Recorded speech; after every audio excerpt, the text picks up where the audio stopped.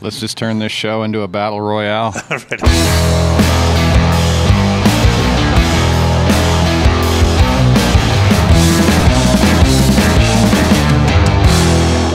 Welcome back to the Side by Side Guys Off Road Podcast. I'm Big Z, I'm Ian with Full Throttle Battery. and we are still at UTV Takeover Utah Sand Hollow 2020, having a great time. How about you? Uh, you might be having a great time. I don't think anybody else is having a great I would time. say this morning. technically this morning we had quite a difficult this morning. Yeah, Uh, we, we found out why it's called Hurricane Utah. Desert Desert Storm Hurricane 2020 came through and took out Superior. Uh, that was quite the event. Have you walked around? I haven't. Wasn't just them. really. I heard they got the brunt of it though. So Yeah, there were guys here till midnight holding things down, and uh, some people didn't fare too well. yeah, and uh, that that's trade show life. I think though, getting getting the tent uh, squared away is a big part of that. So. Um, yeah, but uh, other than that, it's been a good time. Lots of fun adventures and, and good shots and, and some good video. So you were flying the drone around. It was a pretty good time. Yep, blew another belt. Good times. You're keeping the record going here. We're, we, we're up to one more, right? For sure. Yeah, yeah. So Yeah.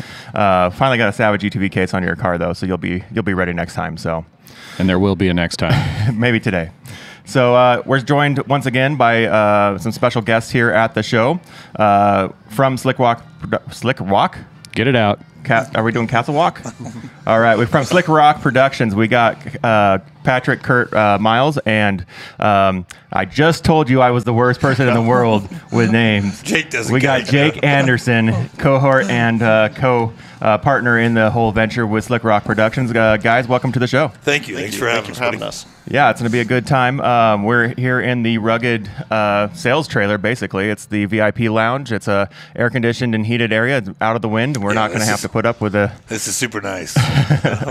So, uh, what are you guys doing out here? Um, I saw you guys pull in uh, to the show early there, earlier this week. Um, looks like you guys were out riding. yeah, we come out to support UTV, um, the takeover. Um, Jim and Steve are good friends of ours. We've been to some of their events before, and they just do a phenomenal job, as you guys know. They their events have something for everybody. They're you know you can bring the whole family out. They're kid oriented. There's just always something going on. It's not like a typical event where you just you have some trail rides. I mean, there's just there's a lot of action here. They attract a lot of people, and we uh, we wanted to come be a part of it. And they were uh, nice enough to invite us, so we come out and do some guiding and hang out and meet people. Meet some good people and definitely hit the trail. So Yeah, so you guys have been doing guided rides the last couple days, right? Yeah, yeah, we got the day off. They were gracious enough to give us the day off Give so we could go play. so so um, we're happy about that. But yeah, we've uh, we've been out here guiding. We've met a lot of cool folks out here and had a, had a good time. And we do a lot of guiding um, all over the country. And there's a I don't know. We have home court advantage here, so it's a little bit easier for us. And we, we spend a lot of time down here. How many uh, how many of these events have you been to? The takeover Oh, events. Oh, oh, takeover, just a few of them. Yeah. yeah, Yeah. yeah. We do a lot of events all year long, but the takeovers we do. Um, we'll probably next year we'll probably try to get out to, to Oregon and do a few more with them, but um, I think we've done two or three of them with them. Uh, like Virginia, Oklahoma, something no, like that. we or- did uh, the last one we were at was in McCall, Idaho. Oh, cool. Yeah. Yeah. Yeah. I was That's there. right in I our out there area. too. Yeah, yeah, and it, and it was super fun, and it was uh, we kind of had a it was kind of a bad deal. It was record breaking heat, and usually up there it's about 80 in the summer. It was over 100 degrees the whole time. Yeah. so Right. It was it was a toughie, but there was a lot of cool folks that showed up, and it was a There- good time. there's some good riding up there, though. It is beautiful. Yeah. it's really pretty up in high timbers. Yeah. Uh, a lot of high mountain lakes up there. It was, Oh, yeah. it's gorgeous country. Yeah. So, what uh, what trail are you guys uh, guiding on this uh, event? Um, I think our last one we're doing the Maze Trail. yeah, we I got believe. May Saturday. We had um, double Sammy, Plan B yesterday, and then follow up. So you guys the got to mix it up a bit. Yeah, yeah. That's cool. What's your uh, favorite obstacles out here? What's the favorite kind of area that you you visit? honestly all of it. The cool thing about Sand Hollow is is there isn't you know, like Moab is kind of the mecca here in Utah and on Moab it's a real stay on the trail. It's a designated area. Um, it's gorgeous there. I mean that's probably that's God's country. It's the prettiest wheeling in the world in my opinion. But down here is a little bit different. If you wanted get off the trail. I mean, pretty much anything you can see, you can climb down here. So as far as the trails go, I mean, we kind of like all of them, but and on every trail down here, there's a lot of obstacles. You can kind of do what you want, and so I mean, you can get kind of crazy and play on any level that you want to play on. It seems like uh, there's a little bit for everybody, dependent, no matter what car you have. So if you have a, a standard OEM car, there's plenty to do, and if you have a fully built portal car, there's plenty to do Yep. as well. Yeah, we've uh, we've guided people through here in stock cars, 50 wides. I mean, you can kind of I said you can just kind of use the terrain here to your benefit. And, you know, any skill level can come down here and play and have a great time, and it's gorgeous Yeah, down here. you really can't because each trail can be mild to wild. It's really how hard you want to make it. Right, right. Yeah, I, I usually ride up in the mountains in Idaho, um, a lot of Oregon dunes and stuff. So this was kind of this was new, and I've never checked out Moab. I, I know I'll be in I'll be there in May, and Yeah, it's you should do that. Well, it's a trip because you're telling me it's God's country. I could make an argument this place is too. This place is incredible. Ab- absolutely. Yeah. You know, the, the difference is like because these are probably the two areas that we ride the most. Moab is really big, a lot of arches. It's it's just really breathtaking country. It's just gorgeous. It's beautiful as can be down here, but down here is a little more rugged. I mm-hmm. mean, it's just, and I've ten to one. I've wrecked more cars down here than I have there. You know. Yeah, I didn't know what to expect, but uh, you can rip out here too. Oh, man. yeah, yeah, we were yeah. uh, we were flying. Yeah, It's, any uh, style riding kind of goes Yeah. here, you know. And it's like for me, I'm like I love Idaho. I spent a lot of time up there. Um, I'm a big snowmobiler, and like Yeah. Idaho is just. So you're no stranger to McCall then. No, I know McCall pretty well. Yeah. I, know McCall Island Park all the way up through there. Yeah. You ever I get know- up to Priest? Um, I I went bear hunting up there. Yeah. Um, above there anyway. Nice. A little closer up to the border by Canada up Yeah. there, right? Yeah. Yeah, I've- been up there a few times, but and it's gorgeous country. But Utah is just kind of weird because it's once you get to southern Utah, you have a lot of it's a lot more desert. Northern Utah has a lot more mountains. We live in northern Utah. We do a lot of high mountain riding, and you know we have a lot of that up here. But you have Moab here, you have sand here, you have good mountain riding here. It's kind of a really diverse state when it comes to riding. I mean, as far as other places we've been in the country, this place is really phenomenal for Yeah, that. for sure. So uh, let's talk a little bit about what you guys do. Um, you know, the first time I saw you guys online was was way back on one of your first portal cars uh, that you put together, and that was the big deal. People were like, "Holy cow, portals on a side by side!" Right? Right. Uh, kind of how how did you guys get your start? First, well, let's start. Let's go even further back. Kind of how did you guys meet? How did it come together? And and where's what's your background in? Jake and I met in my shop. Um, my background, as far as wheeling goes, um, I was a big Jeeper for a long time. Um, did a lot of fab stuff, a lot of custom stuff. Um, I was just doing big long travel Jeeps back in the day, and I really liked that a lot. But it kind of got to the point where we were building Jeeps so well, it was becoming really easy. Uh, we kind of pushed it too far, and, and when I got into a side by side, wheeling got hard again. You had to pick lines, and it was it was a skill level thing, Yep. you know. And and so the side by sides had a lot of appeal to me. The problem was is they weren't built very well. Right. So we had a big group up in northern Utah we used to ride with, and I met Jake in my shop. He called me up, and we did a cage together, and we just kind of became buddies after that. And Jake had this thing going that he, he wanted to, you know, what, what Slikrok is now and what it was then is a little bit different. But Jake wanted to do an informative, you know, it was kind of more of a blog style. We were kind of giving out information of stuff that we were figuring out was working and wasn't working. And he came to my, we were doing a rap one day in my in my shop, and he's like, "Hey, check out this intro of this video I made," and it was just badass. And I'm like, "Man, we got something here." And we just kind of went from that, and we started doing videos. And then we were down at an event um, down at Rally on the Rocks, and the guy who builds portals, the guy who kind of pioneered that. We met him. We told him we wanted to build portal cars for rock crawlers, and he laughed at us. And two weeks later, we were on a plane and we were sitting in his office, and we kind of told him the way it was, and he just believed in us. And we started building portal cars, and um, along that way, as we were building cars, we were figuring out that we were breaking a lot of stuff. And I mean, obviously, especially back then. I mean, you're talking four or five years ago. RZRs weren't meant to have 35 inch tires and bigger, and there had a lot of rolling mass. We were breaking a lot of components. We had a lot of buddies that were trying to do it too. So we started doing instructional videos, started doing tips, started talking about what works and what doesn't work, and Slikrok has just kind of evolved from there. If you uh, were to be introducing yourself to a new group of people that aren't familiar with you guys uh, individually and the brand, kind of what would be the the elevator pitch to what you guys do uh, day to day with with the brand? Well, um, when when we started doing this, um, we made a promise to ourselves we were going to keep a high brow. We weren't a, um, we're not about shit talking to anybody. Period. You, you know, it's like there's a lot of companies out there, and there's a lot of guys who are, are innovative. There's people who deserve recognition. There's people who try really hard, and we wanted to focus on that. And so what Slikrok does, we, we get a lot of clicks every month. We have the biggest following in the UTV industry, and we answer a lot of questions. I mean, thousands and thousands of questions. That's like a full time job. It, it is, and we have a big Yeah, crew. thank goodness that's- to these guys. These guys out we got some guys over here for sure. Uh, we we've just got a strong family of uh, supporters that are in Slikrok. Um, we all do our due diligence, and we all train each other on everything that we know, and we kind of keep up to date on everything that's coming out and everything we're doing, so we can all you know point people in the right direction. But when people, what we do is is we just provide information for people. If you want to build a portal car, if you have problems with your machine, people reach out to us and we give them the best advice we can. But we don't do it. We have a lot of sponsors, but we don't sell out to any of those sponsors as far as you know them what we say equivalent selling parts. If you call me up or you message one of us and you ask us, hey, what's the best radius rod to run? We're not going to be like, oh, go with brand X.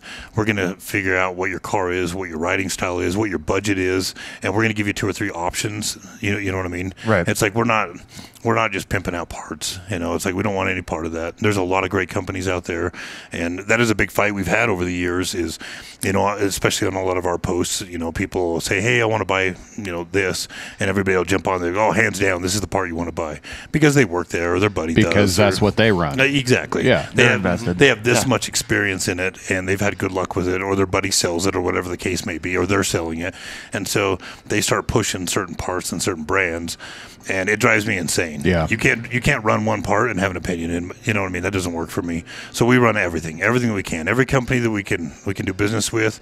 We like to get as much information, but it's not just a price point thing. It's a warranty thing. It's a customer service thing. It's you know a lot of companies they do all the research, all the R and D. They get into the metallurgy of the parts they're buying. I mean, we can sit here and we can talk about titaniums and alloys and heat treated and all the different stuff. Most people don't care. Right. That's the bottom line. But companies care. Yeah, I've no, uh, you know, I've been very blessed from a sponsorship standpoint. Some some great companies have, have helped me out with my rig, but I started as a as a customer. You know, Right, I mean, right. you learn what works for you, and then all of a sudden you start to develop a relationship with that company, and next thing you know, you guys are working together. It's, uh, Right. you know, if, there's one thing I've noticed about UTV, as big as it's growing, it's a very small community from a, a vendor standpoint, Right. And you get That is. opportunities like this to rub shoulders with everybody. So, Right. And it's like for us, you know, it's most of the people that are in this parking lot out behind us, there's a lot of vendors here. We do business with almost almost everybody out there. I mean, there's companies we don't, obviously, and there's so many new companies popping up. It's it's kind of tough, but we won't put their name on our sponsor board till we know something about them. We meet Right. the owners, we talk to them, we figure out their warranty, we kind of, you know, how they manufacture parts, the R and D that they do in the parts. We like to ha- have a really good knowledge of what we're talking about before we'll even recommend a part. right, right. And and you're talking about actually running the parts, not just bolting them on, taking you know the video and the pictures, and then we- calling it good, right? we- you're going out on the rocks and, and pushing these things. Yeah, We before have- we even talk about a part or a company, it's been on our machines and on a couple trips. For so, sure. Yeah. Yeah. We Yeah. we have we have stuff that's on some of our cars now that has been on there for six months we haven't even talked about. Yeah. You know, it's like we want to do our due diligence before we recommend something and our responsibility is not to the people who are making parts. It's to the consumer out there. And that is where we've we made our stand. We could have sold out a long time ago. Slikrok's got a big following. It's worth some money to certain companies out there and we've been pushed. But at the end of the day, the power that we have with the companies that we do business with comes from the people who follow us and the people who engage. Yeah. And so um, I don't want to take that lightly. Jake doesn't either. I mean, that's that's a situation that is just organically grown because we have a good name and we do the right thing 100% of the time. You know, and so it's, you know, we, we've had people have accuse us of bandwagoning with, you know, certain companies, and we've dealt with that over the years. But at the end of the day, we can hold our head up. I can walk into any one of these booths, any vendor out here. We all shake hands. We're all good. For sure. We don't do anything dirty, you know. yeah. Right. That's something that we've taken a stance on, you know, with what we're doing is, you know, there's no there's no time that's good time wasted blowing hot air about a brand. Like Right. if, if they're if they're being malicious, then the community should know about that. But if it's if it's just honestly not the product for you or for that niche or for that group, Right. then you just don't recommend it. You move on, right? Like Right. you don't need to We- dwell on I'll, this. I'll be the first one to admit it that uh, there's certain companies that I've used on my rigs that I will legitimately pay retail before I jump to something else. And uh, yeah, I mean, like when I, I'm not trying to like pat myself on the back or anything, but like when I tell somebody that that I've run something and it's good, I beat the crap out of it Right. and it's good. Right, right. you know, it might not be We're- for them, it might not be in their budget, but Because because your word means something. exactly. Yep. We're, we're in that same boat. If if Slikrok doesn't Well- have any integrity, we're not worth anything to anybody. Well, the know? thing is, is you guys are guiding too. You know, I've done some guiding, and like I, I always take the approach that I owe it to the guys that are following me to Right. have the best. Because Right. if things start to go sideways, they're going to need me to get get them the hell out of there. Right, you know? right, right. So, Yeah, and there's a there, there's definitely, I mean that's that's been our our foundation for Slikrok from the beginning is our integrity means everything to us. You know, it's like there's there's a lot of stuff we believe in, but the the next phase that happened to Slikrok that's been kind of interesting or interesting to us anyway is um, all of a sudden we have a bunch of input on parts that come out. Uh, we uh, we help design parts. Um, we sit at roundtables quite frequently. We have a lot of ideas for new stuff coming out, which direction we think the industry is going to go, and we've literally watched companies change their manufacturing, change their R and D, change some of the parts they make based off of the information that we give them or problems that we've had. And for me, that is the biggest thing when it comes to these companies. When you can sit in front of a, a huge company or a medium sized company or a small company and tell them, look, these are the problems we're having, and they take you seriously and they remedy it. Um, I, every company makes bad parts out there. I don't care who you are. Everybody goes through, you know, you kind of get your credibility by trial and error. Right. But if you listen to people and people who are serious, it, you know, the, to their credit, there's a lot of people that call up and, you know, they have very all these great ideas. Right. It's not really warranted, but you know, when you watch a company who redesigns their parts and they change things up based off of the opinions of the consumer, that's a big deal to us. You know, and uh, we've had some companies we've done business with, and some of their parts were inferior. We're having problems with them, and instead of we don't talk crap about them online or say don't buy these, we go back to them like this is where they're failing. This is the problem we're having. These are our ideas. They get their engineers involved, and they start modifying things to better fit the needs of the consumer. That is what a good company is, in my opinion. When you have a good warranty, when you have good engineers, and you put the time and the R and D in to make a good product, and you stand behind it, that's worth spending your money on. You know, um, I want to I want to prompt you guys. You you mentioned trends, and uh, like we're seeing a lot of different stuff out there. We're seeing stuff in, uh, you know, give you a couple examples. Like in UTV, we're starting to see guys get into more like it's not just wheeling; it's overlanding. Right. Uh, we're starting to see. Uh, you know, I was talking to Jerry Zayden from Camburg yesterday or the day before and we were talking trucks and he's not built you know I, he was telling me he was kind of going a weird direction with his truck i go yeah i'm kind of building a half overland or half chase truck and he just cut me off he goes that's exactly what i'm building you know Right. you're starting to see that i mean even you know we're, we're looking at trucks out here that are doing that you know you got big diesels where guys need the truck to do more than tow Right. i'm really curious as to what what kind of trends you guys are seeing and st- uh, we started doing that actually a few years ago, building chase vehicles. Um, we did it for two reasons. One, we needed to carry more stuff with us, more equipment, sure. more gear, and the other, our girls were uncomfortable sometimes, and they kind of like Rangers and AC and heated, you know. Yeah, so, yeah, so we started kind of making more comfortable vehicles that were multi-purpose. so you're doing chase rigs off a ranger platform Yeah. that's cool Yeah, Right. Rangers are just a cool platform. I mean, but I mean, like the, the new Polaris HVAC has got heated. Um, they have heaters in them, really good enclosures. They have AC. Yeah. Um, they have a lot of payload to them, and there's enough aftermarket support out there. Um, we have big Rangers on portals. I mean, they're big, capable cars that will. We just got done doing four wheel steering on one. Yep, saw that's that. ridiculously cool. I mean, they're just they've come a long way. And so, you know, it's like we got to dib out of that too. I mean, the the demographic in the UTV world, in my opinion, about 80, 85 percent of it is mountain riders. They're trail Right, riders. right. Then you got the dune guys and you have the rock crawlers. Um, you get the race guys in there. You, know what I mean? But it's like we try to cater to the ninety percent range because we think we're the most effective there. Um, but you know, it, it's it. There is a lot of trends going on. You know, things are changing a lot. The last few years, UTVs have come a long way. Four or five years ago, six years ago, when we were all riding little 800s with no suspension in them, I mean, it's like they're ridiculous now, but they're very expensive. Right. Now, you can go out there and drop 30 grand plus on a UTV, no problem, and put another. Most guys put ten, fifteen thousand dollars into them after that. Yeah. Some of our rigs were into 70, 80 G's. Yeah. And we go out and wheel them and roll them. Right. You know, For- I mean, what you buy and what you put on them is important at that point. for me it was 2014 it was when the xp1 came out Yeah, for me too. Yeah, it was. Uh, you know, honestly, if we were still in the days of the uh, first gen RZRs, uh, I would still be on two wheels. I would be Right. riding enduros and motocross Right, bikes. right. It uh, as soon as I as soon as I rode in the XP1, I'm like, this is where I'm going. Yeah, back in the old days um, when the rhinos came out, I kind of dabbled into that world, and uh, they were cool for what they were in their day. But if you had to go back to that now, I mean, like in 14 when the XP 1000 came out, I remember I had that thing in my shop. I took it for one ride. I'm like, how do you get any better than this? Yeah. And We- now I get an XP 1000. I'm like, this thing is dumb. I'm We- embarrassed. we had- to drive it, yeah, yeah. No, we had full throttle battery. We had a chance to sponsor some trophy truck guys, and I, I, I made the comment to a marketing consultant. I said, "Hey, uh, that might have made sense in 2012, 2010. Right. But after the XP1, like e- ev- everybody got access to off road, Right. so it made more sense for us to just really go crazy on the show circuit and start rubbing elbows with end users, Right, you know, right. and put our money there. Like we, I, I didn't know what kind of value we would get out of a trophy truck sponsorship, and it was a it was a great driver too. But uh, Right. you know, it's So- talk about trends. Right, yeah, indeed, indeed. So we're Yeah. talking about some of these older cars, and you were saying like getting me into a 1000 nowadays is, is a little bit different than it used to be, right? Right. Um, when we're talking about big portals, big wheels, big adventure, you know, is the horsepower something that you guys look at, or is it more about how the gearing and, and the and the ride experience and all that? Most of it uh, for us is the foundation of the car. Um, you know, typically with you know for rock crawling and for the stuff that we do the most of, the non-turbo cars are actually a little better because they don't chew through components as fast. Um, we'll kind of take Kawasaki's platform for that. Kawasaki is known. You look at Teryxes, that is an underpowered car and it's overbuilt. Um, are they fun to drive? Uh, yeah, not, not, on my standards. Not going to really let not, you down though. But they never let you down. They're mules. They go forever. Rock crawlers, we kind of like to build the same way. We like to overbuild them and underpower them. You know, and, and you know we have a lot of turbo cars. We've built fast cars, and we've played in that in that world too.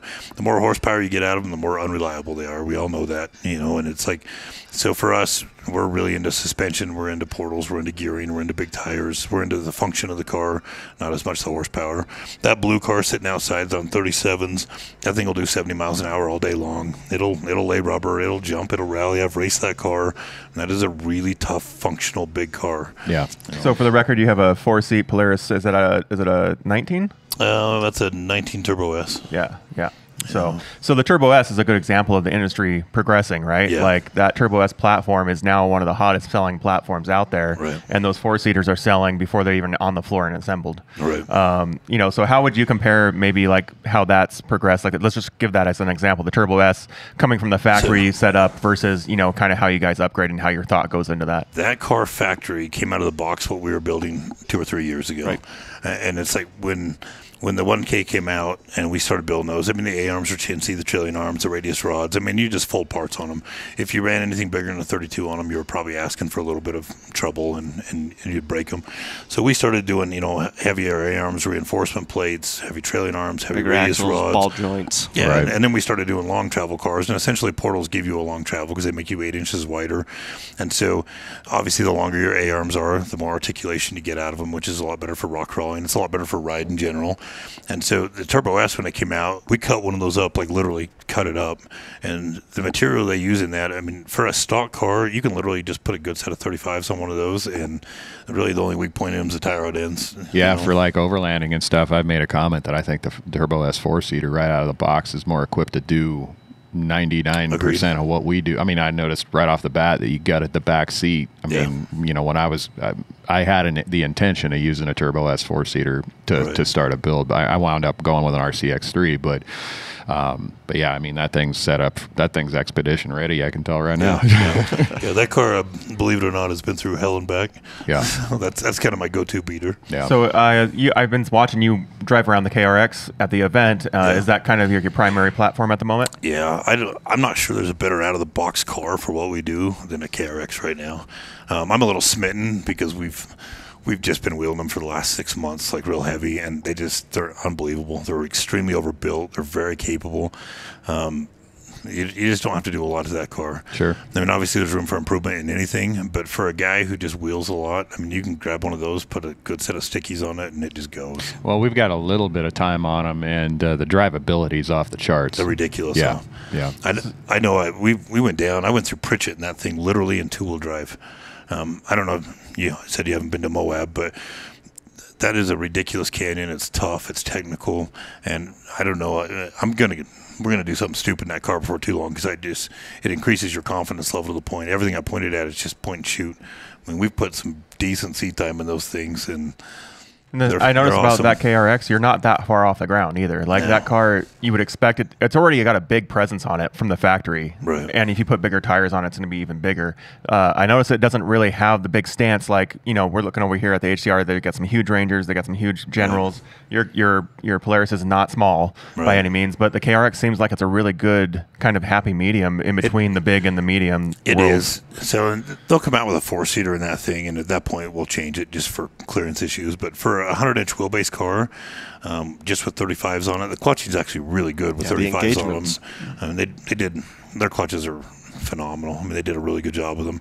That is a car you can put 35 on and kind of leave it be. Yeah. But we won't leave it be though. I mean, we'll make them big. Yeah, I think uh, the the market is really ripe for the Japanese OEs to come in and just do what they've traditionally done and Right. just uh, over, you know, like you said, overbuild, underpower. Right. You know, me growing up on Suzuki's and stuff, I would I'd, I'd love to see Suzuki get in the mix, mix because they kind of they've traditionally kind of marched to the beat of their own drum a Right. little bit. You know, like with the LTR and fuel injection and air shock, and I mean they they're, Right. they've always shown that they've been willing to experiment, willing to try, and I, I was kind of leaves a sour taste in my mouth that they haven't gotten into this Yeah. because I've, I've been bummed out of Suzuki and Arctic for Yeah. those same Yeah. reasons. Well, you we've talked about Arctic Cat and Textron a number of times, and and how they just have a missed opportunity. We, we don't know what they're doing right now. Like they may be coming out with some, but it's like we haven't heard anything. Dealers haven't heard anything. I got some pretty good ideas. I, I got in a fight with Robby Gordon a little while ago over that, and uh, he's a cool cat. Don't get me wrong, and um, obviously he deserves some respect. He's earned it. But when Arctic Cat chose to patent their machine and not let the aftermarket world get involved in yep, it, yep. they stomped themselves into the ground. Yep. You can buy a lot of cool stuff, the Robby Gordon stuff for that car, but you got to buy it through them. Yeah. And you know, the minute you cut out all these big companies from making aftermarket parts, for one, their stuff is not affordable. You know, I mean, it's it's top notch stuff, which is great. You know, and for the elite guys and the guys who can afford to do that, that's one thing. But you've ruled out a bunch of the marketplace when you do Yeah, that. because everybody wants to make the machine their own. They won't want to Yeah. be pigeonholed into the same parts everybody else can. Right. We, we got a phone call from Bass Pro Shops or one of their big wig guys. They wanted us to build an Arctic Cat to put on display down there, like out of their parts. One of their tracker Like, brands. put it together yourself. You know what I mean? You don't need us for that. I don't. I don't want to put my name on that. You know, it's like we kind of do our own thing. You know, Right. And- But that's the joy about the aftermarket world and the UTV world is every single person you know that owns a UTV builds it in their own style. They all save their money. They all do what they want to do. Every car you see has got. I mean, even if it's just light bars or stereos or wraps or just wheels and tires, everybody makes it into their own car. That's why we do this. You know, you can kind of have your own style, your own art with it, and and you know build your car out of your driving style and the train that you ride in. And when you take that piece out of the marketplace, you take the aftermarket world out of it, you've killed your car. You know, it's like you look at every car that comes out that doesn't make it, it's because the aftermarket world doesn't get behind it. You know, it's like we have a Defender. Um, the aftermarket world is not got behind that car. That car will not make it if the aftermarket world doesn't get behind it. Right. You that's know, a great car. yeah, they're good cars. Yeah. but but it's like they're- don't sell enough of them, Right. Because you can't do anything to them, Right. You know, and, and it's you know you kind of go back and you look at uh, the double X that Arctic Cat built. They were the first ones. They kind of pioneered this thousand world, and they came out. They had big you know coilover, you know dual rated shocks on them. The car wasn't great, but they kind of introduced You're referring that. to the Wildcat. Oh, the Wildcat, Yeah. yeah. Right. And so the Wildcat comes out, and it's just like it wasn't a great car, but they pushed that in. They, they could have kept going with it, but they didn't. And the aftermarket world grabbed onto that really quick because of what it was, but the car fizzled back out. Right. But if you don't get the support of all the big companies who make aftermarket parts for them, you're not going to make it. You right. know? Right. We're looking at the industry and what's coming out. Um, have you guys looked at the RMAX 1000 that was just recently released at all? Have Not you yet. seen in that yet? Not yet. Um, you know, essentially, we're talking about a, a Wolverine X4 platform. You know, have you guys seen any of those on, on the rock crawling trails? Not yet. Um, there, there's a. I mean, for the most part, Polaris kind of owns the demographic out there. I mean, they're probably ten or fifteen to one of everything else Yep. that's out there. The Dune World Can Am is strong in that. The YXZ is strong out there, but every one of those new cars that comes out, you know, the Wolverines, when all, when all those cars come out, there's a percentage of time when it comes out, gets a little bit of feedback, and like I said, it really depends on the aftermarket world. If if these companies don't grab onto that, they don't think it's cool, they don't start pushing it, they don't start making parts for them, they just don't seem to take off. I think there's linkage in between those two things. Yeah, I think uh, I think Yamaha tried to dabble in sport utility with the Wolverine, and I think they've, I think they've. I'm not going to say perfected, but they definitely did a lot better with this new RMAX, and Right, you know right. the the sales metrics that I'm hearing right now. You know they they learned kind of a, a difficult lesson with the 16YXZ. They overbuilt it, and they couldn't sell them. Uh, so they underbuilt the RMAX, and now you can't keep them in stock. I mean, there's dealers I'm, back I'm hoping east they're that- big. I'm, I'm excited Yeah. to see where it goes. Undoubtedly, you know, and it, it'll. We do usually don't start getting into cars unless we feel like they're going to be popular. We don't feel like we're doing any due diligence to, you know, the consumer out there if it's not a popular vehicle. Right. Right. So when you guys get into cars and you're looking at the parts and you're testing stuff, like kind of what's your process on proving something, and then how do you take that information to a brand? Like a lot of people come to us or you guys or other people always with grandiose ideas about amazing things that would be awesome, but it doesn't make business sense. But there's other ideas where it's like there's an everyday use case for this scenario and we need to address it like how do you know from your perspective you've you've got connections now to where you're talking to the people that actually do the engineering Right. but the the average consumer they might like when we're out on the trail doing overlanding and stuff like that there's use case scenarios where like this area needs to be solved you know what's the average joe to do to get that information to the oe so that you know things can start moving forward what's the best way for the community to be involved in that process talk to us. Here, here's the problem. You know, there is a there's a couple of big companies that we do business with that literally have email addresses that they kind of never look at. They they kind of push everybody to. Everybody's got big ideas. Everybody wants to see something change. Everybody wants a sponsorship. Everybody thinks they're a parts tester. Um, we have a few reps that literally that's all they do is answer the phone all the day and put people off. And on and so when when you do have innovative ideas and you do have things that want to go through, the best way to get that through is to have somebody that's got an ear of somebody else. You know, we had those ideas years and years ago and tons of them. Like we'd sit down, I'd yell and slam my fist on the on, on the table because I'm like, this will work. We need to do this. And and you know, some people take it seriously, some people don't. But it's it's tough and you know when you're it really depends on the product you're talking if it's something simple and it's easy to make it's easy to manufacture um, and it isn't you know real costly it's a little easier to get that done. We've had some crazy dumb ideas you know. The rear steer we just put on the ranger is a two year project because it's a novelty it's not a necessity. Who buys rear steer for a ranger you know what I mean? The mud guys, the down south guys, the mods guys, I mean, show guys. the show guys. They want to walk into these big butt events. They crab walk in. These guys spend a lot of money and they're into novelty. They want something their buddy doesn't have, and it's like, but you know, the real world application of it is, you know, we have one for plowing snow, for hunting, getting in and out of tight spots, for rock crawling.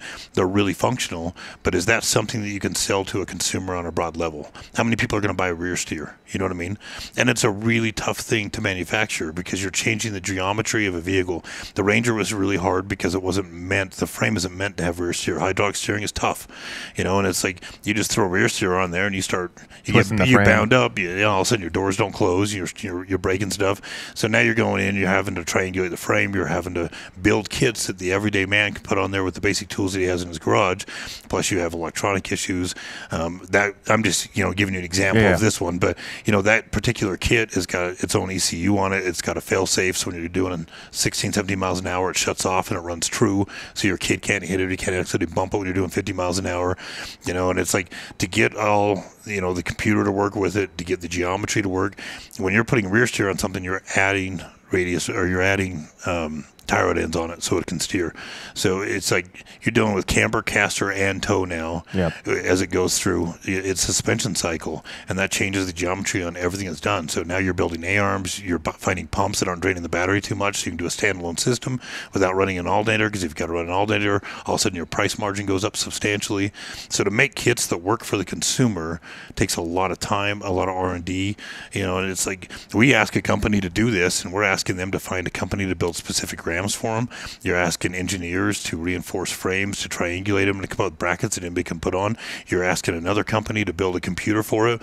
You're asking another guy to do wheel speed sensors. By the time you get done spending all the money to get this kit right, once again, two years it took us to get this done. You spend a lot of money, and how many rear steer kits are you going to sell? Right. You know what I mean? And so there is a, that cost effect. There's companies out there that will do it just because we've asked them to, and which is really cool. But on the other hand, we don't want to have that responsibility of steering them in the wrong direction. Right. You know, and it's like years ago, you know, we were pushing companies to make 35 inch tires. For two years, I barked at everybody I knew. Every tire company we did business with, they were laughing at us. Now 35s come stock on cars. Now we're pushing them for 38s. We're pushing them for 40s. And how many cars are out here on 40s? It isn't just me. Right. You know what I mean? I mean, they're all over the place. But then you got to look at that from the demographic globally. How many people are going to buy 40 inch tires? How many tires are expensive to make? You know, So speaking to that, you know, you're talking about that rear steer kit, right? And then in the lim- the niche market that that applies to, uh, while it may sound big to a person that's not used to seeing market numbers, um, at corporate level, that's not a big market. But Right. so what what went into the idea about creating a Ranger platform versus maybe a General or a RZR or a uh, Defender or a whatever? The Ranger was the easy start because it's got A arms on the back. RZRs have trailing arms on them. The General and the RZR are close enough that you know that you can, you can dabble into there. But when you're on a trailing arm system as opposed to an A arm system, an A arm system you can put ball joints on it, you can have spindles on it. You know, what I mean, it's just it's it's less expensive and it's less R and D to start dabbling into. Um, the RZR World rear steer will come out. Um, there's a company that we're do, doing business with is doing it right now, but it's hard. It's a lot of R and D, and it's like being able to make the kit. I mean, we fab stuff up in the shop. We, we trade stuff back and forth. We have ideas. Um, we have a bunch of engineers that we deal with, and from the from the starting process to the time you have a finished product, the finished product is really important because what you're doing is you're changing the geometry, you're changing the you know the mechanics of how a vehicle works from the factory, and so warranty becomes an issue, safety becomes an issue. The product itself has to be durable; it's got to last because it's not cheap. You know, I mean, this, people are going to spend some hard-earned money on this kind of stuff. It has to be right. So to go through the process, it just takes a long time. It's not like you just slap this kit together and you put them out. I mean, there's it takes a lot of R and D and it takes a lot of hands on it, and you know the system's complicating. It's, it's not easy. What is it? It's a completely different thing for a guy to. I want rear steer on my machine to build a one-off kit to fit his machine. Yeah. Completely different world to go from that to actually do a production kit Bold for the masses. We have a buddy down here that's got rear steer on a Ranger. He's a super cool guy. He's a hell of a fabricator. Uh, I mean, he's he's a good dude. And you know, it's like we we've eyeballed that a bunch of times, and his kit works really well. He did a really good job with it. But there's a difference between what he did and then making one for a consumer, for Right. one to sell. Production You know? process. Yeah, you know, and, and this guy's a welder. He's a fabricator. I mean, this guy has got a lot of years. This is what he does. You know what I mean? But you know, for the average Joe out there who doesn't do that kind of stuff, who wants to buy one of those kits, it's a different game. You And I need think a that's bolt-on kit. a good reason to argue that our community tends to benefit from just talking and working with people in the community to make stuff happen that you're dreaming of. That you don't have to rely on OEs all the time. There's plenty of great talent out there to make things happen. Like your Right. buddy can make that kit, and, and it just comes down to being willing to work with the community and, and pay the price up front, and not always try to get the cheapest, not always try to Right. get you know the the bottom dollar for everything. To actually invest in in quality work and equipment and safety and, and all that. This is this is a deal. I mean, it, for me, it, the companies out there who are willing to be innovative and willing to put the money into it and do something properly and get it out to a consumer for a fair price, that's the whole key to make this work. You know, it's like there, there's a lot of companies out there who can who have the ability to do this kind of stuff, but to do it on a big level is hard. You know, and it's it takes a lot of money. There's you know, when uh, when we come out with a new set of tires that we want to run, it takes a year to get it done, and it's a staggering dollar amount. Staggering, you know. When you know the company that builds the portals that we run, um, when we started doing with them, you know, they, they just didn't build a lot of them. It was just a mud thing. It was a south thing. They've got what, seven, eight new CNC machines now. Oh, you know, That was just since the first of this year. yeah, between that between the building they bought to start CNCing more and to keep up with the volume out there, this is a twenty million dollar investment, Right. Just for portals. The returns are far far ways out. on Yeah, that. yeah, and it's like when you look at the profit margin, and we know what the profit margin is in them. Um, it's not great. You know what I mean? Yeah. It's like you know how long it takes to get twenty million dollars back when you're looking at three or four hundred dollars in a, in a in a profit margin per Right. per set. You know, and it's like that's a that's a big commitment to make. You know, Well, and I think a good point that you brought up is um, when people spend money on parts, you're not just investing in a product. You're investing in a company that took the time to put the money in to come out with a good product, and then also, The To- future product. yeah, the, the company's going to be there if you ever have an issue. Yeah. So when people are always chasing stuff to the bottom, you kind of getting rid of those good companies that are willing to be there. This is our biggest pet peeve in this It industry. is. We have a billion people reach out to us every month, and they want discounts. They want to know where the cheapest this is. Um, our Everybody's always argument for chasing it to everybody who bottom. listens to this 100%. is Yep. quit doing that stuff. If you can buy it ten bucks cheaper from Joe Schmo and you feel good about that, that's your prerogative. But you're not helping the industry. Go direct to the companies. Quit using drop shippers. Let companies make their money because they're spending the money to make better products. It drives me personally crazy. We get uh, I get emails probably once twice a week from different Chinese groups that are investing into the market, and they're coming out with a brand X, brand Y, and you look at the product set. It's all the same stuff. It's all the same factory. It's all the same sewing. It's all the same welding, and it's like you know we're not interested in supporting you know offloading those dollars from our community Right. into China. Like we we want to invest that into the companies that are willing to invest and be supportive of the community and push the community forward because we're as, as much as it's exploding. You know, one thing that we've realized is that the, the aftermarket on these machines, or the I should say the used market on these machines, is going to start exploding here the next year or two. Right. You know, we've we've had record sales year over year. With production slowing down and the stuff, the weird year that has been, it's definitely going the other way now. and you're going to have to have a quality aftermarket support for all those used machines. And because essentially we're going to be getting into you know what the automotive market does on their waves of you know new car releases and and, and new used units going out. We're going to start seeing more and more people asking okay i just bought a used machine with 4500 miles and i need what do i need to replace? What do i need to service? What do i need Right. to what parts to put into this thing and make it new again right? And uh, you know those companies aren't going to be around if you if we're not investing in them now. Right. This is this is this is I mean a fight we've been fighting this last year real heavily that we've got involved in is there is so many good companies out there who do things properly. Let them make their money. You know what I mean? It's like all this discount code stuff, and it's you know all, all the people who are chasing the bottom. If you keep lowering the price and taking the profit margin out of the parts, you're not going to be there anymore. And when you have a company who stands behind behind something, especially lifetime warranty stuff, let them make their money. You know what I mean? They've, they're they're going to stand behind you forever as long as they're in business. But they need to be in business. You know, if you're going to find the guy who's got the best warranty and he's the cheapest price, then you're going to haggle him back down. Once you keep taking the profit margin out of this, companies don't get to exist anymore. These guys spend a lot of money. You take a look out here. What does it cost all these guys to get here to this event? For Support sure. them.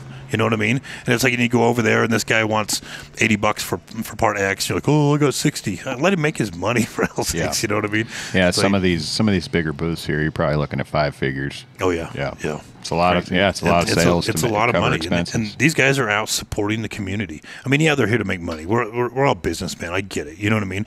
But at the end of the day, they're putting the time in. They're putting the effort in. They're here for the consumer. They come they come to these events. They're supportive. They build parts. They R and D parts. We want them to make the best parts they can. So when we spend our money, we're spending it one time, and that's the important part of it. You know. So uh, let's uh, let's deviate a little bit and get a little more creative on some of our stuff. Uh, you guys are pretty uh, big into the hot rods uh, on your pages. Uh, you guys have some pretty hot uh, some pretty hot cars. I think you have a is it a SS? I got, I have an SS64 Chevelle. He Yeah, has I have a 72 Chevelle. Yeah, you're the one that's re- you're rebuilding it right now, right? Currently, Oh, it was about we're- we're about and a done half with ago. it, Yeah. yeah. Okay, yeah, yeah. So what what do you got in that? Uh, that one's got a 454. Yeah, that's a 454. Yep. We uh we we did that one. Yeah, it was about a year ago or so. Yeah, probably about a year and a half. Yeah, it's mean. His his has got a 454. It's fuel injected in it. Mine's got a stroker in it. Mine's a 64. It's amazing how uh, UTV has shifted my priorities because my, my Can Am could have been like a 70 Roadrunner. Right, right, right. uh, I mean, I, I've noticed too. You know, you were talking about guys that are building show cars, and uh, I, I was at rally uh, rally in the Pines in Idaho, and there was this there was this guy there with his wife, and he had two he had two Maxes, two four seater Maxes. Probably each one of those things, he'd probably spend at least forty grand on each Right. on aftermarket components, It's- and and those things didn't even get dirty, and. Right. That's his '57 Chevy. We, That's we- what that is. We have those show cars too that we Yeah. don't really use. I mean, they're show pieces. It is kind of funny when you put it in perspective like that. Um, my man Rory here and I, we both have Shelby GT 350 Mustangs. They're stupid expensive. They're funner than hell, and we have more money in our RZRs than we do in those cars. Yeah, I believe You know what I mean? Yeah. Like, Yeah. You could you could take all the muscle cars we have cumulatively and all the money we spend. That's probably three RZRs. So, I Oh mean, yeah, you know, yeah. With like- the amount of money I've spent on side by sides, I could probably buy. I probably have three B body Chryslers. So yeah, exactly. Yeah. It's fun because we're just gearheads. You know, it transfers from so many different things, and it's all fun. There's times when uh, I don't know. It's just nice to shift gears and pull cars in, and we For let it sure. go out and race and dork around a little bit. yeah. So do you guys actually get down to the track and do quarter miles and stuff like that, or When the tracks were open, I just sold my race car. Just got rid of it. Um, we waited three years. Their local track here got sold out, and they were going to build another one. This was going to be the year they were going to do it, and um, with all this crap going on this year, they decided not to. And I think I'm out of the drag world now. Yeah. Gotcha. You know? I've spent my money in that world plenty of times. I, I, I did that back in high school. I went to a high school that actually had a high school drag racing team. Yeah, yeah, awesome. yeah. Like That's you cool. could you could letter in it. yeah, they don't Yeah. do that stuff anymore. Yeah, for real. Yeah, I had. now uh, we're all demonized. Oh, dude. Yeah, I had the most ghetto car ever. Like I was. You remember those old like '88 Ranger GTS? Oh, yeah. Oh, yeah. yeah, It yeah. Had like 373 gears or something. What was that? Like a 2.8. I think I was doing like 16 fours or something, but it would do it all day. I don't. Back in my day Yeah. when the, uh, I mean, I've, I was into the, you know, the late '60s, early '70s muscle cars. I played that a lot. But when the Fox Body Mustangs came out, I started doing Paxton superchargers Yep. on those. That, that was a big deal back in the day. You know? Yeah, I had one of those, and it didn't take much to get it into the 13s. I want to say, Yeah. uh, even with me in the car, it was right at three grand. Yeah, when you Or and I were kids, pounds, 13s yeah. was fast. That that was a contender. And now you know? Toyota Camrys do it. Yeah, yeah. Yeah. my, my wife's Sport Edge does better exactly. than that. The grocery Yeah. getter, you know. no, my my uh, five liter F one fifty runs a fourteen seven. yeah. Yeah, Yeah. it's nuts. Jeez. Yeah. Yeah. Yeah, it's it's crazy how that world works, but yeah, it's, it's all the evolution of everything. You Yeah. know, it's like back in our day, a 13 second car was something serious, Dude, And yeah, yeah, you couldn't couldn't have nailed it more, man. Like in my high school, if you had a 14 second car, you got a lot of respect. If Yeah. you had a 13 second car, you were just like, whoa. yeah, our, our cars one are zero to 60s in the threes. That was bullet bike status Yeah. when I were younger. Oh, you know? dude, there was this one kid on our team. Um, he had a 70 Swinger 340 with 456s, and he was in the 12s. And we just looked up to him like he was Michael Jordan. Yeah, he, was, he was a god, right? yeah, right. yeah, yeah. I remember once when he was heating the tires up, his dad was asking, "Hey, will you will you shift the rear end and stuff?" I'd be, I'll be happy to. Sign my forehead. yeah, exactly. So, uh, looking into the industry, uh, what what's got you guys uh, interested? What's got your ears tingling, and, and what are you looking forward to over the next couple years? Um, we're thinking television's probably the next thing we're going to look forward to. We're, we're going to dabble on that next year a bit. Um, I think that there's been a real big change in the UTV industry over the last couple years that we've watched. Um, we've worked really hard on trying to get rid of drama and trying to get rid of a lot of the naysayers out there. Um, it's it a few years ago we used to just be stressed all the time we put videos out we put you know part stuff out and it, you know 30% of the comments that would come online were just garbage i mean people were just trolling and i don't know it's just kind of all changed over that we don't really get into that anymore and i don't i don't know if people are just got tired of it like we do or not but Well, I- the fact I that you're still around, that'll. I mean, pushing through is what usually gets rid think, of them. I think pushing through, and some of it is we just call them out. Um, I don't really. I'm not much for a bullshit guy. I'm, we just like honesty. We like integrity, and um, we don't have to have the same opinion as everybody else does. Um, I don't want to get all political because it's a little tough to do that. but but I believe the biggest problem, not just in the UTV world, but in America, is the divide. I'm Right. so tired of it. Everybody's got to have an opinion. Everybody has to be right, Yeah. even if you don't know anything. Well, and social And- media is a big cause of That- that. It just horrible. it gives you and I access to each other, even though we live a Yeah. thousand miles away. Yeah, you know. well, and it, it it's funny because you know it's like you get on and you're on some of these you know UTV pages and they're having political arguments, they're having this, and it's every aspect in life. If you're a Dodge guy, you got to hate the Ford guy. If you're a boater, you got to hate the Wave Runner guy. If you're a Harley guy, you got to hate the Bullet Bike guy. If you like football team X, you got to hate football team Y. Everything we do, we have to have this divide in between us. You know what I mean? I, run, tired of it. I've you know? run into some people like that. It's pretty rare, but I'll, I'll be basically just throw it down where I'm like, hey, you go ahead and have that debate. I'm going to be up on the mountain. Right. And it's it just infects everything. And, and I feel like at least in the social media world, at least the world that we play in, that stuff is going away. Yeah. But we have real problems to deal with and not that stuff. You know, and it's like we, we get involved in, in quite a few things that are that are political. You know, there's there's a big divide in Moab. I think everybody knows that. There's a lot of stuff going on and and I don't really care how you enjoy the outdoors. Go enjoy it. I don't care if you want a pedal bike, I don't care if you want a motorcycle, if you want to hike, if you want to ride a UTV, if you want to be a Jeep. We got no beef with Jeep guys. For some reason, like we I love we- Jeeps. I do too. I come from the Jeep. world. you know, it's funny. We went down last year. Our man Rory got married. We went all went down to Moab. Um, he's from pretty close to there. It was during the Jeep Safari, and there's kind of an unwritten rule: the UTVs stay out of Jeep Safari, the Jeeps stay out of Rally on the Rocks. You know, and uh, those guys welcomed us with open arms. We went down there. We guided Jeeps down there in our UTV, and they were all cool to us. There was the occasional one or two that stuck their nose up in the air. You know what I mean? But for the most part, 99.5% of them were all cool. They shook our hands. Half of them follow us. You know what I mean? Like, you guys build cool stuff. Yeah. Right. They were cool as can be. It's like, I don't know where this is coming from, but it's like, however you enjoy it, you know, however you want to recreate, however, whatever gets you and your family and your friends out to go enjoy yourself, go do that. Yeah. You know, So when you guys started out, how long did it take to to basically come to the basically realize how much of a job media is?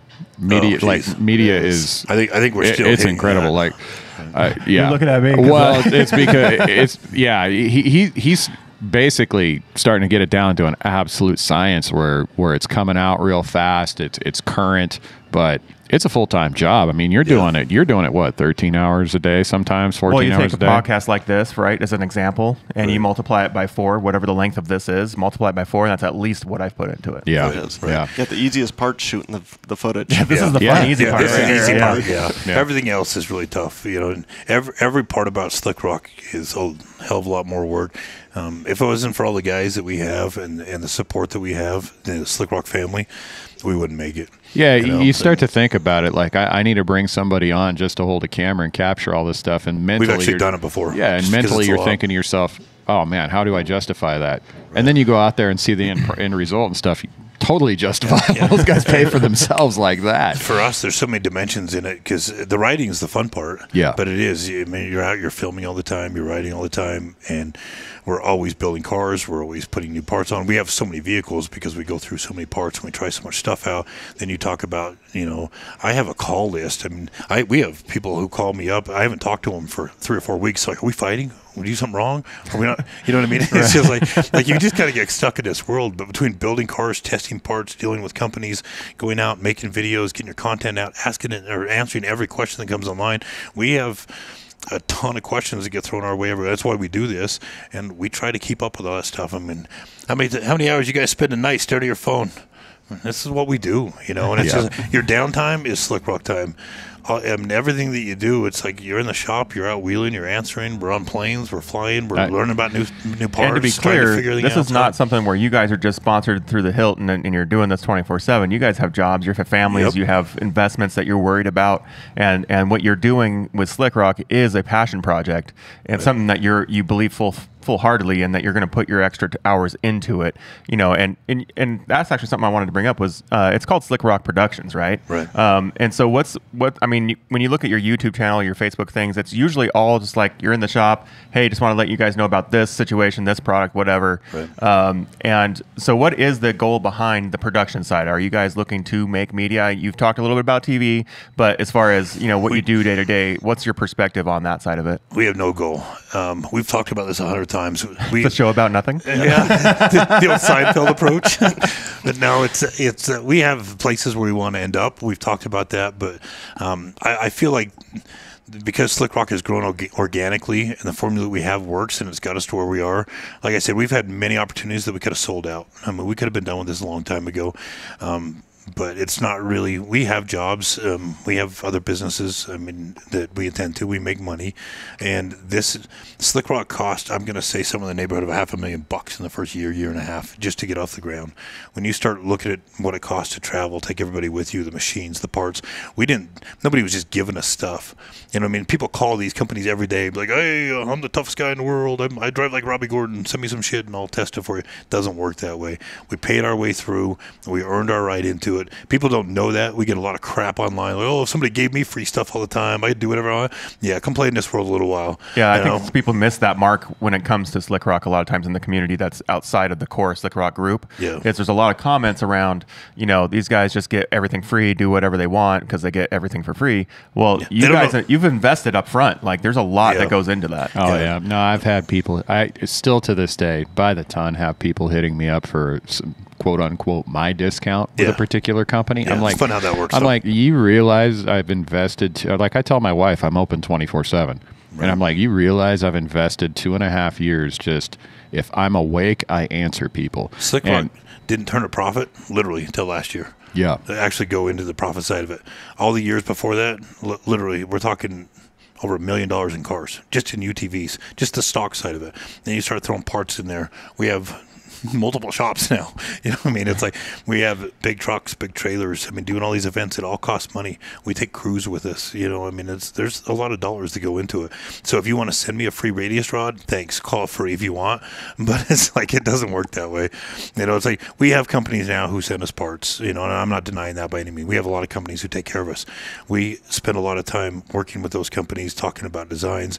We run their products. We spend a lot of time. You know what it takes to make videos for stuff, to edit it, to get it out, to push it, to answer all the questions. There is nothing free about this in any Nope, way. not at Just because all. somebody hands you half the time when we come back to the shop and we see a pile of boxes that the UPS man drop off, eh, our shoulders shrink a little bit. It's responsibility. Well, and the other thing you is, it's a looming thing in the back of your head too. Like I get this. Like I, when when a company wants to work with me, like I'm super humbled by that. And, and Right. like, despite everything that you just said and all that work, it's like looming in the back of your head. Did I do enough to reciprocate Yeah, for them? absolutely, You know, and. I take that very seriously. Yeah, and so we we deal with you know a lot of the companies we work with. Um, it, it isn't just a marketing thing; it's a cause and effect thing.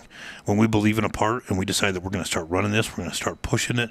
We want to let the public know about it. We want to know what the sales do with it. And I mean, we have a responsibility to them as well.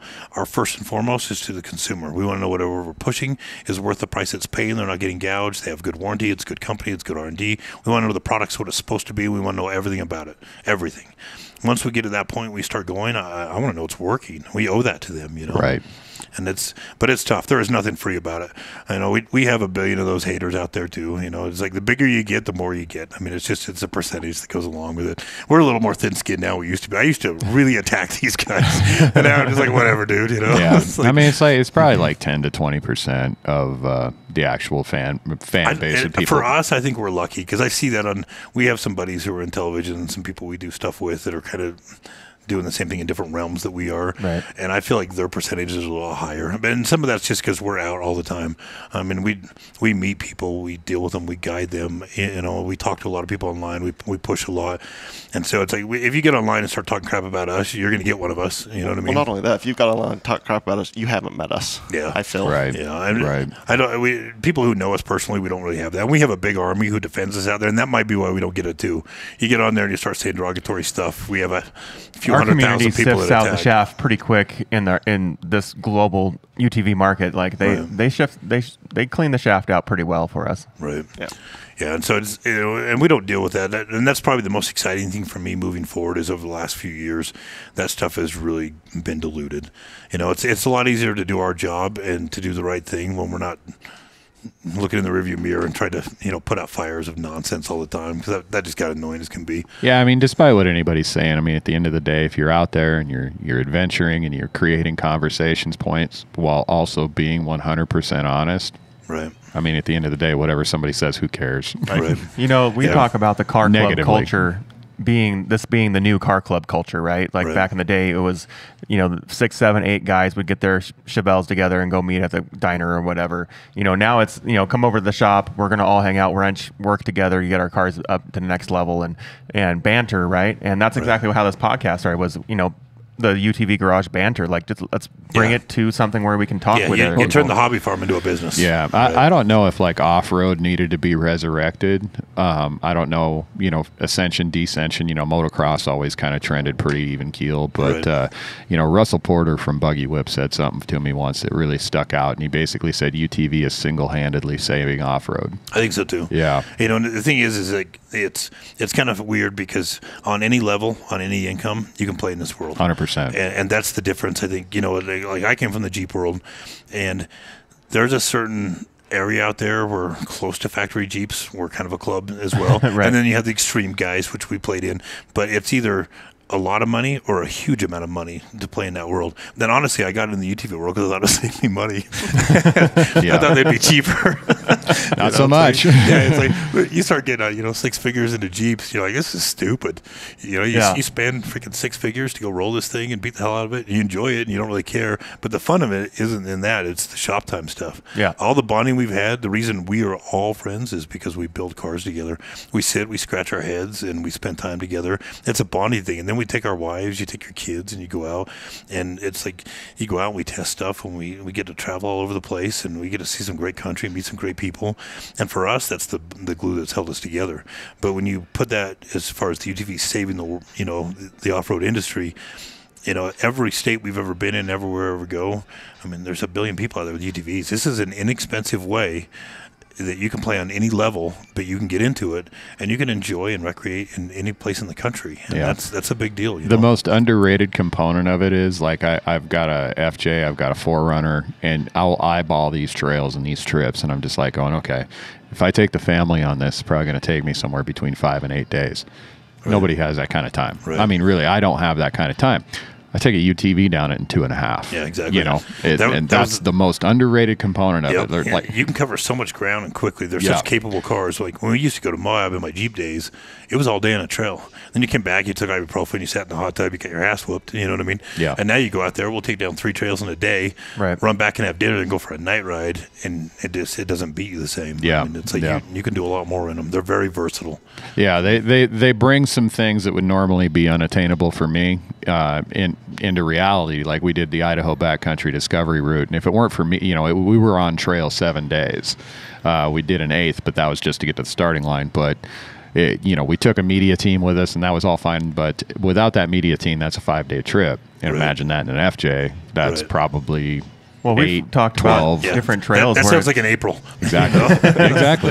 We've talked about Yeah. trails where it's like, you know, the Jeep guys are coming back to us when we're at the start of the trailhead and they're saying, yeah, it's going to take you all day to get through that pass. Right. And it's like two hours later, we're like, so what are we doing with the rest of the day? Because Yeah, we yeah. plan for this to take forever. Right. Yeah you, yeah, you can cover a lot of ground. They're super versatile. You take a place like this, there's rock crawling here, there's trail riding here, there's sand here. One machine can go do all that and do Yeah. it well. And and that's part of why I started with the X3RC is and same reason you started with the Turbo S down here is just, you know, I start with what I think is the most off-road capable me- machine right from the factory so I can start wheeling it day one. That's And- one question we get a lot when people Yeah. are wanting to get in the street: Where to go? You know, and that's a toughie for us because you got to really understand people. You know what I mean? Yep.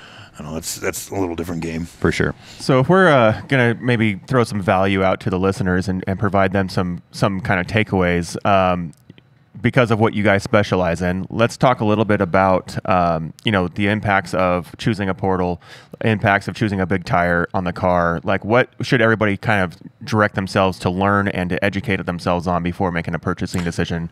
You know, obviously go to your stuff, look at your what you've already done as far as content on that. Right. But uh, a takeaway to like you have, let's just say a stock uh, RZR or whatever, and you have 30 or 29s or 30s on it or whatever, and you're looking to go bigger. What's the first first couple steps you got to think about in the next process about gearing and, and ratios? So when you're building a portal car, we have uh, we've worked with companies come out with complete kits of everything you need.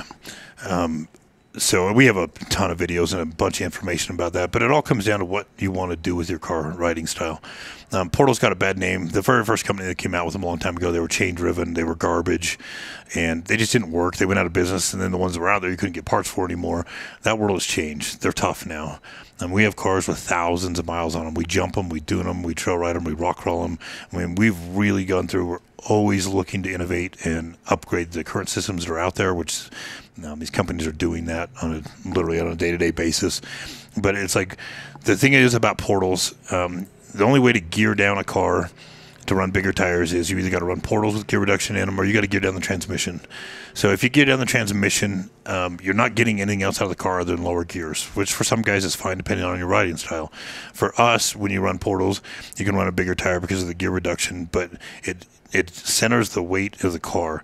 So when you put portals on, portals are, are heavy aftermarket wheels and tires, a lot of rolling mass is heavy. So you're keeping the center point down. You're making the car wider. You're making it articulate more. But you're leaving, you know, if, if you run like a, on a typical RZR 1000, if you run, you know, a 30% portal and you run a 30% bigger tire, so you go from a 29.5, which is what they come with, to a 34, 35 inch tire, that's 30%. So you run at 30%, you know, it, it keeps your same speed. You can still drive 60, 65 miles an hour down the highway. It still performs and it feels like a stock car, but it rides better because your weight's down. You have more articulation down. and without the stress on the drivetrain. Yeah, and it's like we used to. Um, we were talking earlier about chase vehicles. We used to go down and go wheeling, and we would take 10, 15 axles with us. We'd take a ton of belts with us, ball joints, amps, because we That's why the chase stuff. vehicle was born for us. That's why it was. we literally built the battle built chase vehicle because we needed to take parts with us. And now it's like we go out there. Um, I don't think any of us. When was the last time we broke an axle? When was the last time we tore a belt out? We don't go through parts anymore. You build a car around your driving style. But for everybody, that's a little bit different. But that's why we have, like, we have another page called Portal Nation, specifically about portal information. Yep. We have an army on there of portal guys, including ourselves. But the people, like the manufacturers, the companies that make these, they follow our pages too. They're on there. We're all Q and A all the time. You have any questions? You get on there. We'll get right back to you. We can we can get information from somebody and start pushing you in the right direction, so you're not wasting money. You want to build a portal car? How big do you want to go? Do you want 32s? You want 34s? You want 35s? You want 40s? You know, it just kind of depends on what you want to build. We've built literally everything. I mean, we've built from mild to stupid. I mean, to dumb. I mean, we have cars that are literally dumb, you know, but they function. You know, there's no, there's a big red car over here I have on display that is a ridiculous car. That car's been 20 feet in the air. It's on 40s. That car works. It articulates. It rock crawls. I mean, there's videos. We have a ton of them out there. I think it's got 3,000 miles on it, and they're not nice. I mean, that is a really well built, tough car that has taken a beating. You know. Did you did you hear that? They they don't blow belts. Hey, we're still in the process of building that thing, man. I mean, it's, it's, it, it's 2,200 pounds, and when you throw four passengers in it, it's, uh, there's some stress there. Are we Yeah, are we keeping the fat guy freight train on that? Uh, the the moniker, yeah, no, I'm, I'm totally into it. So, um, you know, something that's come out the last uh, over the last year or so is the uh, forged versus billet argument. What's your perspective on that for the portal guys? Um, in the portal world, personally, I like billet. I think you're probably in that same boat with me, right? We were in uh, in Tennessee. Um, I have personally only broke one portal in my life. That guy's broke two portals. You're at zero. You're at zero, right? Um, for all the sets of portals we've had, um, and I don't think it's a luck deal. It's all in how you set your car up. There's people out there who break them. I get it. We talk to them all the time, but it's usually in your setup. You know, it's like your expect- Shortcuts. Yep, your expectations got to be right. You got to build a car properly. And, I mean, this is we'll go back to the Jeep days. You don't just put 40s on a stock Jeep. You know what I mean? Uh, it just doesn't work that way. I mean, you have to build the car around it, and it's not cheap. You know, and it's like we have done our very best to break that down. We have companies who literally make complete kits. If you want to do portals, we have a kit in a box. It's literally bolt on step by step um, to take all that guesswork out. We've tried a lot of parts. We've had a lot of parts fail. We've you know re-engineered a whole bunch of things, you know, with with a bunch of manufacturers on this. We have kits that work and they work properly, and it's like you used to have to take our word for that. You don't now. I mean, we we have there's five thousand guys out here on portals and that are out here beating on them every day. I mean, Yeah. we, we've we've done our due diligence. We've worked and we've figured this stuff out. Um, the billet I personally like better just because if you chuck a tooth and you break one, it doesn't come out of the case. If you break a portal and you're out on the trail, you break a gear in one of those. What you want to do is you want to take it apart, pull the gear out of it, go out in three wheel drive. If you have a cast and you break a tooth, it goes out the sides. You have a Erector set, you got to get back together and try to get back out. For me, the extra few hundred bucks to have billet is worth it for that reason alone. It keeps all the components inside of it. I think it was last was it last summer the it was it eight or ten inch portals came out from Eight Super inch. ATV. Eight. Eight inch. Yep. Um, is that too much? Is that too much leverage? Uh, yeah, I like mean, Curt said, it center point and gravity, yeah. especially for what we do. Yeah, I, I don't. You know, the eight inch just came out for the South guys, and it's like I'm not. Those guys built some really killer stuff down there, but they're very purpose built. Right. These guys put them in mud holes that are four, six, eight, ten feet deep, and they churn through and go to the other side. So I mean, the eight inch portal gives them obviously four more inches of lift than what we usually run four inch portals, so you get more lift out of it. Um, So you would say four inches more of the common scenario for you guys? yeah, for us it is. Yeah, for out here, four down south, sixes are the common. Um, that's kind of sixes and forty five percent reduction. They run a lot of forties, forty fours. Tractor tires, yeah. Yeah, yeah, and that's you kind of need. To, I have six inch portals on red over there with forties on it, and like that's kind of a perfect gear ratio with forties. I mean that car will still do 65, 70 miles an hour down the road. I mean it, it works properly. So uh, why don't you both give us a little bit of a rundown on your daily car? Like, what is it? I mean, you have a bunch of cars in the shop that you guys are constantly hammering on, but what's your daily UTV build out look like? Um, pretty much these. I mean, four inch portals, 35 inch tires. That's kind of the rock crawler. I mean, that's kind of the best setup for that. And kind of break it down a little bit, Curt talked about whenever we do a portal car, we build the machine around the portals. So you're talking tie rods, ball joints, A arms, radius rods, because when you toughen everything else up, it can take the rolling mass and you don't have the problems on the trail. Well, um, you know, this is a great, ep- uh, great show to be at, to meet people like you, to, to be out with the vendors, to talk about the products. There's a lot of great vendors. Uh, HCR, Super ATV, Z- uh, Zollinger, I think, has a, some sort of tie-in out here. We have um Evo. We got a bunch of different performance places out representing, and you're able to come to shows like this talk shop, talk scenarios, talk cars, um, even have your car right there with you and, and point and, and talk and discuss about you know questions you have. Um, a big reason to come to these shows is to do exactly that. Right. Um, and so we we always constantly are talking about you know being from the vendor world. We've always talked about come out to the shows, support the vendors. You know, it's not just about supporting the community, the the financial side of the of the community, but the the knowledge side of it and, and experiencing it with everybody that knows more than you, that's been through the the ringer, that has put in the tens of thousands of dollars into this stuff to, to save you on the on the short side, right? Right. Um, so you know these types of com- these type of events we've talked about are great events where you can go out and ride and participate and, and race and crawl and go guide rides and all that sorts of stuff. But there's a lot of knowledge at these events that if you are willing to walk around and spend the time to talk with people and not just be looking for that bottom dollar, Right. you can get more value out of that discussion than you would ever try to find the best sell on a on a tie rod. Agreed. Yeah, being in the industry has its perks too, man. Like you see these guys at every single event, so you get to ride with them, and they get to see how you ride. So that makes conversation so much easier. Like I'll go right. up there and I'll I'll tell them about something that I need or something that I broke, and they know that I ride like a complete jerk. so, so they're just like, okay, yeah, I know what he needs. That's been the, a, a really great thing for us as we've traveled this country. We've rode with a lot of people. Yeah. And um, when you get to ride with people and you get to spend time with them, not only do we get to know them, they get to know us. Yeah. And what we're about, and and that's where the trust basis comes in with a lot of the stuff that we do, is because we personally know half of our followers out there, and that's that's a big number. Yeah. Every one of these events we come to, people come up like, "Ah, we rode together, and you know, here or here or That's here," killer. and it's just cool. I It's mean, honestly travel that's what it's all about. Honestly. for, for us, it is. Yeah, You know, I'm- yeah, yeah. So- I, I, I had some dude hit me up on Facebook the other day, or and I hit up a group. Like he's he runs this group in Sou- in, in uh, Southern Oregon. He was just like, uh, you know, celebrities are kind of dipping their toe in the water in the side by side game. Yeah, we and, know. Yeah. And uh, We're dealing with you. oh yeah, and, and they were throwing it out there, thinking that it was cool. Like what? Um, and I'm not saying it isn't. I'm just saying. That uh, he was throwing out there, who would you want to ride with? I'm like, dude, I'd rather ride with you. right? You know, I mean, it's like I see these guys dipping their toe in the water on this stuff, and it's because it's ascending. And then I see a lot of people in the industry trying to get famous off the industry, and it's just, you know, I don't know. Just I go out and ride. Just go out and ride. Right, right. You know? Yeah. Yeah. It's not a prima donna place. you No, know it's I mean? not. Like, Yeah. I, I don't. We've we've uh, dealt with a lot of people and some people with some big names, you know, in this industry, and I don't. You know, for us, last year Rally on the Rocks was a very humbling experience for us. We we guided some trails out there. We had people travel this country, literally the country, to come ride with us. That's killer. We had a, a, a great guy from Florida drove all the way out here to shake our hands and ride with us. That's crazy. Yeah. And right after that, we went back to Tennessee and did an event. That guy drove from Florida to Tennessee to come hang out with us.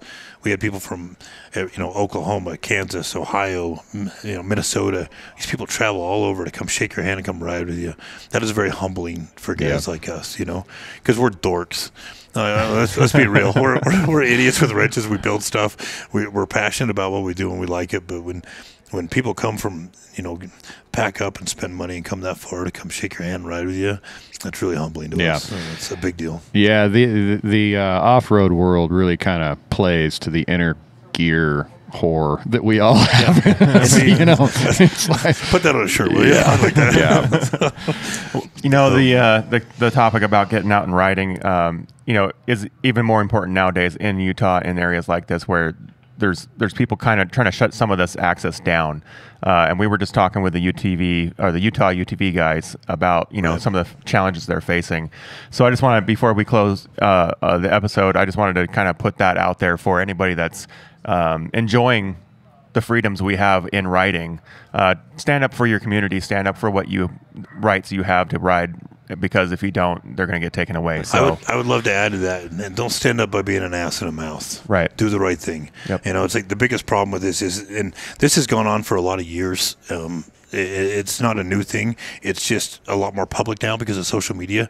But you know, we spend a lot of time out riding, and you know, we've sat in Moab at restaurants in the middle of the night, and you watch people driving by with their lights on, the stereos booming, they're drifting corners, they're driving like idiots. People live in that town. This is where the problem comes from. Right. When you're heading up to Hell's Revenge, you're driving through a residential area. You want to do that at two o'clock in the morning? Don't be an ass. You Right. know what I mean? Throttle down while you're in town. You know, it's, if you're respectful to other people, you don't have these problems. conversations You know? don't even start. No. Yeah. And it's Comes like down to the one thing, the- the- respect. like I said, it's always been there to a certain degree, but now that everybody's got a voice voice and everybody can log on and everybody can have an opinion. You know, and it's like, you know what, UTV Utah does a great job getting involved here locally in Utah with a lot of these things. I mean, my hats are off to those guys. Um, there's some guys who really spend a lot of time and they pay a lot of attention and they fight for our rights. And we need guys like that. But when you get on there and you're like, oh, let's just boycott them all. If we don't spend money anymore, yeah, let's damage everything Right. in order to hit a couple. You know what I mean? Hurt doesn't- ourselves to yeah, bring it all. Yeah, there's the collateral damage here is tough. You know, it's the thing to do is is be respectful. Pick your garbage up. You know, obey the law. Register your machine when you're in Moab. Quit driving around without plates on and being a being a jackass. Don't drink and drive while you're down there. If it's two o'clock in the morning, you want to go on a night ride. That is your prerogative. You can do that. Be cool while you're going through town. Though. There's people there. You're driving by houses. People are sleeping. If you lived in Moab and you put up with that every night, whether you support the automotive world, whether you make a living off of it or not, it's annoying. You know what I mean? Well, Just we all love cool. cars and trucks, but we don't build our house next to the freeway, right? Yeah, exactly, So exactly. no one wants that to just all of a sudden appear out of nowhere in their backyard. Right. And uh, if we're going to protect it, we have to be responsible and we have to stand up for it. But we also, more importantly, have to educate our buddies, our communities, our little micro niches about what their impact is doing to the bigger community, Right. and be advocates in our own local groups. The best thing we can do, all of us cumulatively together, to keep this stuff from happening, is just do the right thing. Just be polite to other people. Understand that you're in somebody's town. Understand that there's people who live around you.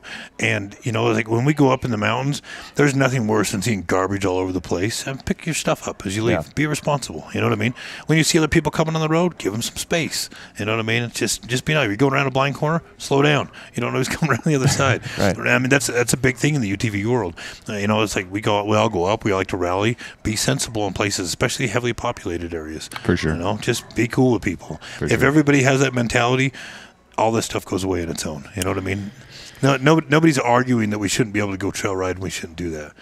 The argument comes when there's garbage all over the place and people are irresponsible. Right. If everybody would just step that up five percent, we wouldn't have these issues. for know? sure.